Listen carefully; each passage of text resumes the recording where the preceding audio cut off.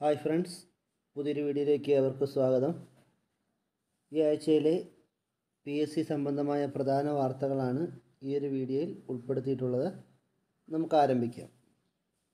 ആദ്യമായി tenth mains പരീക്ഷകൾ April ഇരുപത്തഞ്ച് മുതൽ മെയ് ഇരുപത്തഞ്ച് വരെയാണ് നടത്തപ്പെടുന്നത്. ഇതിൽ സി പി ഒ പരീക്ഷ ഒറ്റ ഘട്ടമായി നടത്തുകയാണ്. ഒറ്റ പരീക്ഷ ഈ സിവിൽ പോലീസ് ഓഫീസർ തസ്തികയ്ക്ക് ഇനി മുതൽ ഉണ്ടാകുകയുള്ളൂ. കഴിഞ്ഞ വർഷം നടത്തിയ tenth plus two degree level preliminary പരീക്ഷകളുടെ അർഹതാ ലിസ്റ്റിൽ ഉൾപ്പെടുന്നവർക്കുള്ള മെയിൻ പരീക്ഷ ഏപ്രിൽ ഇരുപത്തഞ്ച് മുതൽ ജൂലൈ ഇരുപത് വരെ നടത്താൻ പി എസ് സി തീരുമാനിച്ചു. അപ്പോൾ തുടർന്നുള്ള വിവരങ്ങൾ നിങ്ങൾക്ക് സ്ക്രീനിൽ നോക്കി വായിച്ച് മനസ്സിലാക്കാവുന്നതാണ്. University assistant S I prelims പരീക്ഷകൾ ഏപ്രിൽ മെയ് മാസങ്ങളിലായി നടത്തുന്നതാണ്. അതുപോലെ സിവിൽ പോലീസ് ഓഫീസർ മെയിൻ പരീക്ഷ ഒറ്റ പരീക്ഷയേ ഉള്ളൂ. അത് ജൂൺ ജൂലൈ മാസത്തിൽ C P C P O civil police officer വനിതാ സിവിൽ പോലീസ് ഓഫീസർ തസ്തികളിൽ പ്രാഥമിക പരീക്ഷ ഇല്ല. കഴിഞ്ഞ തവണത്തിൽ നിന്നും വ്യത്യസ്തമായി ഇത്തവണ മെയിൻ പരീക്ഷ മാത്രമേ ഉണ്ടാകൂ ജൂൺ ജൂലൈ മാസങ്ങളിൽ ഈ പരീക്ഷ നടത്താനാണ് തീരുമാനം. വിജയികളുടെ ശാരീരിക അളവെടുപ്പ് കായികക്ഷമതാ പരീക്ഷ സർട്ടിഫിക്കറ്റ് പരിശോധന എന്നിവ നടത്തി റാങ്ക് ലിസ്റ്റ് പ്രസിദ്ധീകരിക്കും. University L G S prelims July August മാസങ്ങളിലായി നടത്തും. സർവകലാശാല ലാസ്റ്റ് ഗ്രേഡ് പ്രാഥമിക പരീക്ഷ വിവിധ ഘട്ടങ്ങളിലായി ജൂലൈ ഓഗസ്റ്റ് മാസങ്ങളിൽ നടത്തും. ലിസ്റ്റിൽ ഉൾപ്പെടുന്നവർക്കുള്ള മെയിൻ പരീക്ഷ ഒക്ടോബറിലാണ് നടത്താൻ ഉദ്ദേശിക്കുന്നത്. ടെൻത്ത് പ്ലസ് ടു ബിരുദ യോഗ്യതകൾ നിശ്ചയിച്ച് ഇതിനകം വിജ്ഞാപനം പ്രസിദ്ധീകരിച്ച മറ്റു തസ്തികളുടെ പരീക്ഷകൾ ഒക്ടോബർ നവംബർ ഡിസംബർ മാസങ്ങളിലായി നടത്തപ്പെടും. ഇനി അടുത്ത വാർത്തയിലേക്ക് പോകാം. പ്രധാന മെയിൻ പരീക്ഷകളുടെ തീയതികളാണ് ഇനി നമ്മൾ നോക്കുന്നത്. അസിസ്റ്റന്റ് പ്രിസൺ ഓഫീസർ വനിതാ അസിസ്റ്റന്റ് പ്രിസൺ ഓഫീസർ പരീക്ഷ ഏപ്രിൽ ഇരുപത്തി അഞ്ചിനാണ് ഇതൊക്കെ ടെൻത്ത് ലെവൽ പരീക്ഷകളാണ്. പോലീസ് കോൺസ്റ്റബിൾ മെയ് മൂന്നിന് എൽ ഡി ക്ലർക്ക് ബിവറേജ് കോർപ്പറേഷനിൽ മെയ് ആറിന് വില്ലേജ് ഫീൽഡ് അസിസ്റ്റന്റ് റവന്യൂ ഡിപ്പാർട്ട്മെന്റിലേക്ക് മെയ് പതിനൊന്നിന് റിസർവ് വാച്ചർ ഡിപ്പോ വാച്ചർ വനം വകുപ്പ് മെയ് പതിനേഴ് last grade servant company corporation board May പതിനേഴ്. ഇനി അടുത്ത plus two level main പരീക്ഷകളാണ് B beat forest officer May ഒൻപത് L D clerk poultry development corporation May പതിനെട്ട് വനിതാ സിവിൽ എക്സൈസ് ഓഫീസർ മെയ് പത്തൊമ്പത് L D typist pollution control board May മുപ്പത്. ഇനി degree level main പരീക്ഷകളാണ് I C D S supervisor June രണ്ട് divisional accountant June മൂന്ന് നാല് junior assistant cashier assistant grade two K S F E K S C B തുടങ്ങിയ company corporation ബോർഡുകളിലേക്കുള്ള പരീക്ഷ June ആറ് assistant grade two beverage corporation June പതിനേഴ് junior assistant assistant grade two livestock development board June പതിനേഴ് junior employment officer national employment service June പതിനേഴ് sales assistant grade two July ഒന്ന്. Village field assistant ഒൻപത് ജില്ലകളിൽ അർഹതാ list ആയിട്ടുണ്ട്. Village field assistant തസ്തികയിലുള്ള തസ്തികയുടെ ഒമ്പത് ജില്ലകളിലെ അർഹതാ ലിസ്റ്റ് പ്രസിദ്ധീകരിച്ചു. കൊല്ലം പത്തനംതിട്ട ആലപ്പുഴ തൃശ്ശൂർ കോഴിക്കോട് വയനാട് കണ്ണൂർ കാസർഗോഡ് മലപ്പുറം ജില്ലകളിലെ ലിസ്റ്റാണ് പ്രസിദ്ധീകരിച്ചത്. ബാക്കി ജില്ലകളിലെ ലിസ്റ്റും ഉടൻ പ്രസിദ്ധീകരിക്കും. ലിസ്റ്റിലുള്ളവർക്ക് മെയ് പതിനൊന്നിനാണ് മെയിൻ പരീക്ഷ. ഇനി ലിസ്റ്റിൽ ഉൾപ്പെട്ടവരുടെ എണ്ണവും കട്ട് ഓഫ് മാർക്കും ഇവിടെ കാണാം. കൊല്ലം ജില്ല നാലായിരത്തി എണ്ണൂറ്റി എഴുപത്തി ആറ് പേരാണ് മെയിൻ പരീക്ഷ എഴുതാൻ അർഹത നേടിയത്. കട്ട് ഓഫ് അറുപത്തി എഴുപത്തൊമ്പത് പോയിന്റ് രണ്ട് അഞ്ച്. പത്തനംതിട്ട രണ്ടായിരത്തി അറുന്നൂറ്റി ഇരുപത് പേര്.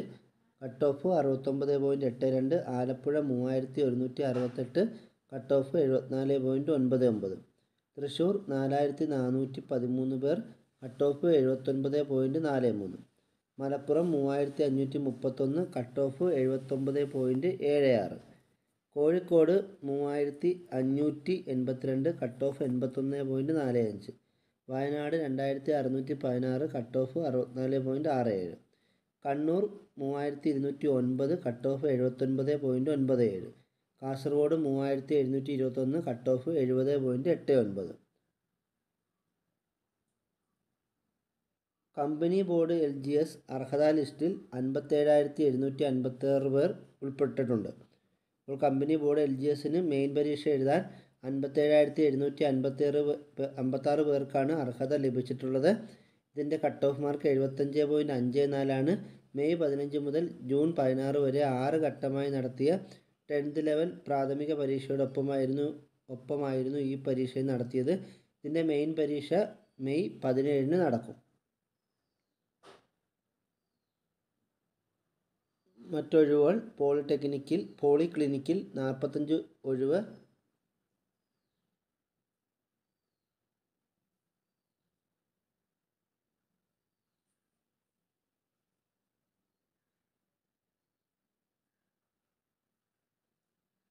കേരളത്തിൽ ആയിരം അപ്രന്റീസ് തൊഴിൽമേള ഫെബ്രുവരി മൂന്നിന് സാങ്കേതിക വിദ്യാഭ്യാസ വകുപ്പിന് കീഴിലെ കളമശ്ശേരി സൂപ്പർവൈസറി ഡെവലപ്മെന്റ് സെന്ററും ചെന്നൈയിലെ ദക്ഷിണ മേഖല ബോർഡ് ഓഫ് അപ്രന്റിഷിപ്പ് ട്രെയിനിങ്ങും ബിടെക് ഡിപ്ലോമ യോഗ്യതക്കാർക്കായി ജനുവരി ഏഴിന് വട്ടിയൂർക്കാവ് സെൻട്രൽ പോളിടെക്നിക് കോളേജിൽ നടത്താനിരുന്ന അപ്രന്റീസ് മേള ഫെബ്രുവരി മൂന്നിന് നടത്തും. ആയിരത്തോളം ഒഴിവുകളുണ്ട്. എൽ ഐ സിയിൽ ഒമ്പതിനായിരത്തി മുന്നൂറ്റി തൊണ്ണൂറ്റി നാല് ഒഴിവ്. അതും കേരളത്തിൽ നാനൂറ്റി അറുപത്തി ഒന്ന് ഒഴിവുകളാണ് ഉള്ളത്. അപ്രന്റീസ് ഡെവലപ്മെന്റ് ഓഫീസർ തസ്തിയിലേക്ക് ഒഴിവുകളുണ്ട്. ലൈഫ് ഇൻഷുറൻസ് കോർപ്പറേഷനിൽ അപ്രന്റീസ് ഡെവലപ്മെന്റ് ഓഫീസർ തസ്തികയിൽ അവസരം ഒമ്പതിനായിരത്തി മുന്നൂറ്റി തൊണ്ണൂറ്റി നാല് ഒഴിവാണുള്ളത്.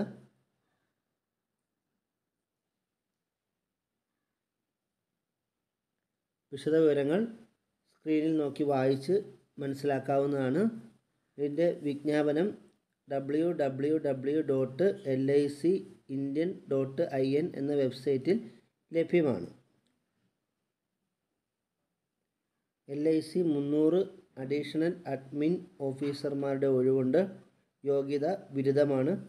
ഇന്റലിജൻസ് ബ്യൂറോയിൽ ആയിരത്തി അറുന്നൂറ്റി എഴുപത്തഞ്ച് ഒഴിവുകൾ. യോഗ്യത പത്താം ക്ലാസ്. ഓൺലൈൻ അപേക്ഷ ഫെബ്രുവരി പത്തിന് പത്ത് വരെ അപേക്ഷിക്കാം. എസ് എസ് സി വിജ്ഞാപനം കേന്ദ്ര സർവീസിൽ പതിനോരായിരത്തി നാനൂറ്റി ഒൻപത് ഒഴിവ് പത്താം ക്ലാസ്സുകാർക്ക് അവസരം മൾട്ടി ടാസ്കിംഗ് സ്റ്റാഫ് പതിനായിരത്തി എണ്ണൂറ്റി എൺപത് ഹവിൽദാർ അഞ്ഞൂറ്റി ഇരുപത്തൊമ്പത് കേരളത്തിൽ നൂറ്റി തൊണ്ണൂറ്റി അഞ്ച് ഒഴിവ്.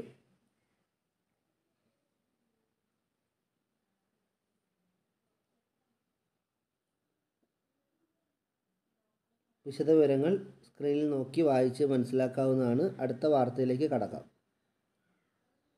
സി എ എസ് എഫിൽ നാനൂറ്റി തൊണ്ണൂറ്റാറ് കോൺസ്റ്റബിൾ ഒഴിവ്.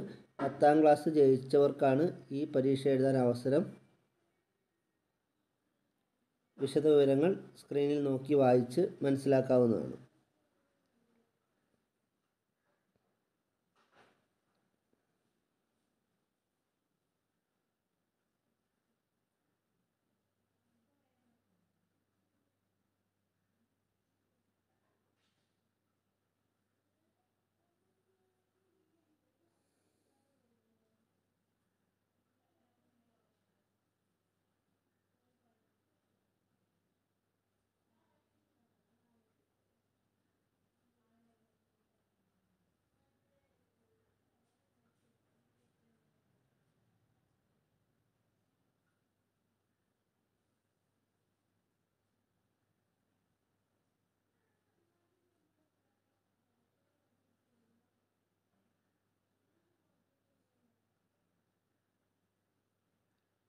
അപ്പോൾ ഇത്തരത്തിലുള്ള തൊഴിൽ വാർത്തകൾ നിങ്ങൾക്ക് ഉപകാരപ്രദമാകുന്നു എന്ന് വിശ്വസിക്കുന്നു. നിങ്ങളുടെ അഭിപ്രായങ്ങൾ കമന്റ് ബോക്സിൽ രേഖപ്പെടുത്തുക. കൂടുതൽ അറിവുകളുമായി നമുക്ക് മറ്റൊരു വീഡിയോയിൽ വീണ്ടും കാണാം. താങ്ക്